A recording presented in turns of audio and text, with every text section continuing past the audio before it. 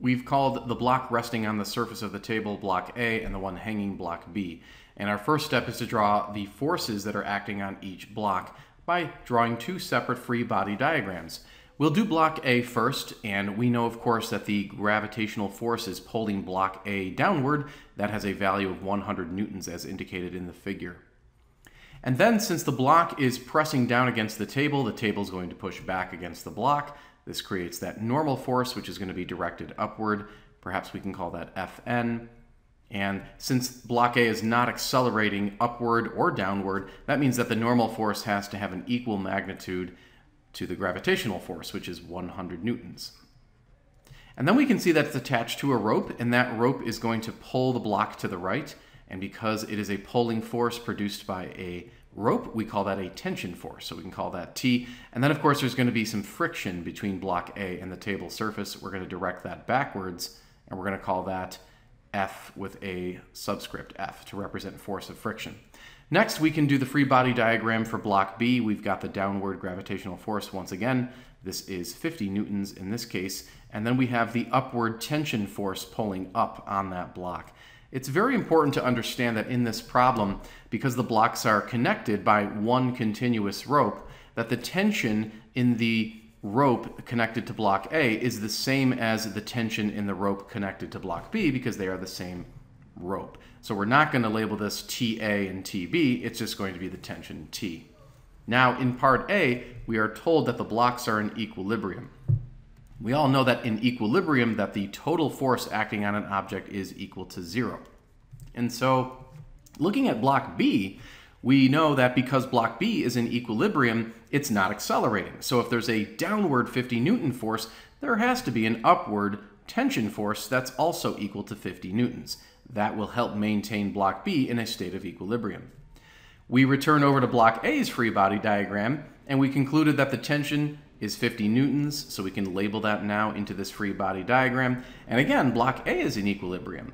So any force that's pulling block A to the right must be balanced by the force pulling it to the left. So in this case, the force of friction is going to have to equal 50 newtons. That will help maintain block A in a state of equilibrium as well. And indeed, that is the answer to part A. Part A wanted the minimum force of friction required to hold the system in equilibrium. So that force of friction is going to be 50 newtons. That is the correct answer to part A of this question. And now we can go over to part B. We are asked to find the coefficient of static friction between the 100 Newton block and the table in order to ensure this equilibrium. So why don't we remind ourselves what the formula is for static friction. We know that the force of static friction, which we called FF in the free body diagram, is equal to a coefficient of static friction multiplied by a normal force. Well, look back at the free body diagram for block A. We know that the force of friction was 50 newtons and the normal force was 100 newtons. So we can plug those values into our equation. We'll have 100, excuse me, that was 50 newtons. And then this is equal to the coefficient of static friction multiplied by the normal force. And then you simply divide both sides of the equation by the 100 newtons so that it cancels out on the right-hand side. And we can see that the coefficient of static friction in this case is equal to 0.50. It is a dimensionless answer because the newtons will cancel out. So that is the correct answer to part B. Over to part C. It says if the coefficient of kinetic friction between the 100 newton block and the table is only 0.25, what hanging weight should replace the 50 newton weight to allow the system to move at a constant speed? So this one's a little more elaborate. Why don't we go ahead and take another look at the free body diagrams. So the free body diagrams still include the same types of forces, but what we are now looking for is the weight of that hanging block. It is no longer 50 newtons. Now, we were given the coefficient of kinetic friction. So what this means is that block A is now moving. It's sliding across the surface. We can actually calculate the force of kinetic friction. So let's go ahead and do that. We know that the force of kinetic friction would equal the coefficient of kinetic friction multiplied by the normal force. Now, block A still has a weight of 100 newtons, so the normal force is still equal to 100 newtons in this part of the problem. We were told that the coefficient of kinetic friction is 0.25. We'll multiply that by the 100 newtons of the normal force, and then we end up with 25 newtons for that kinetic frictional force.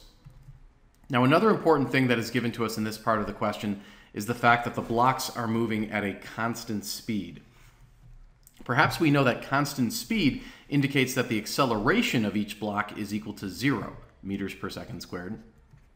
And if the acceleration is equal to zero, this means that the net force acting on each block is also equal to zero. So this is another instance of equilibrium, although it was sort of phrased differently to try to maybe throw us off. But definitely these blocks are still in equilibrium. So this means that any force that's pulling block A to the left has to be balanced out by the force pulling it to the right.